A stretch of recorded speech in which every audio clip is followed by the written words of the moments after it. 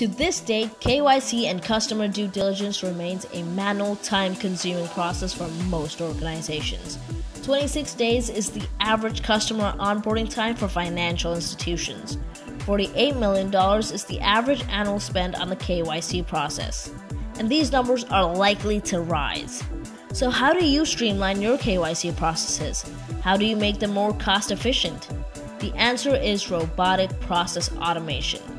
Srijan's RPA solution is designed to automate the KYC process, leveraging cutting edge technology, deep learning algorithms, image processing, and convolutional neural networks.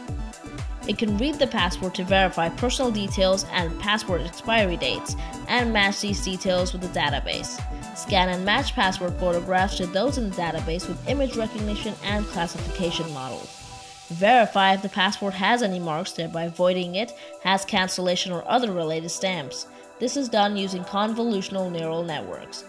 Based on this information, the passport can be classified as verified, expired, cancelled, or photo mismatch.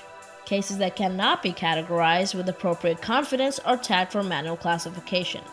But the system doesn't rest there. It learns from the manual classification and spots patterns to closely mirror the manual results it retrains itself and gets more efficient with prolonged use. With this system, teams can reduce manual efforts for KYC verification by 70%, carry out document verification in one tenth of the time taken manually. So, less time to onboard customers and less expenditure on hiring resources.